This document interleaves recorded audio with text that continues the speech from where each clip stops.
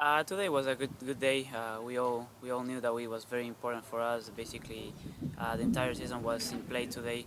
Uh, we struggled uh, to finish yesterday at the at the end, but uh, Esteban played good. The rest of the guys played good, so we knew we had to finish strong. And basically, we all came together as a team. the last nine holes, it was very clutch for us, and and then we showed that we can play under those type of circumstances.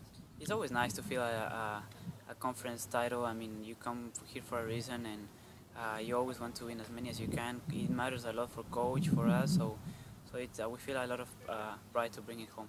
I mean, at the beginning, I didn't start hitting the ball very good, uh, but uh, in the fourth hole, I started uh, picking it up. and the first nine holes, I finished four under, so I I started picking up some rhythm and then in the second nine I just stayed focused and keep on playing well.